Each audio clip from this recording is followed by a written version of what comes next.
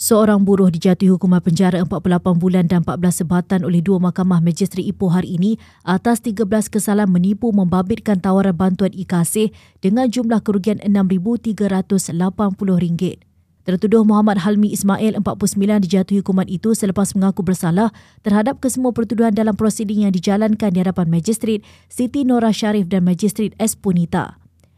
Terdahulu di hadapan Siti Nora, lelaki itu didakwa atas dua pertuduhan menipu sebelum dijatuhi hukuman dua tahun penjara dan satu sebatan bagi setiap pertuduhan.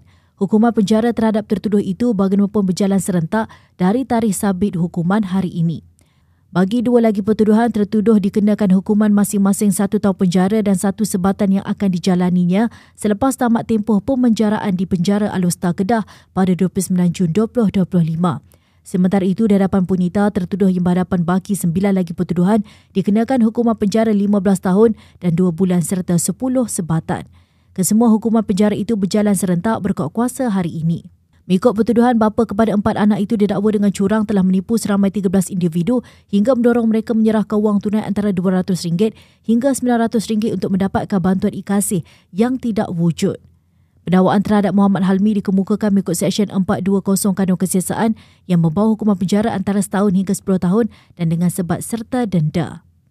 Pendakwaan dikendalikan Timbalan Pendakwa Raya Nur Akilah Syaza Arifin, Nur Anisah Isma Muhammad Husaini dan Nurul Hidayu Zakaria.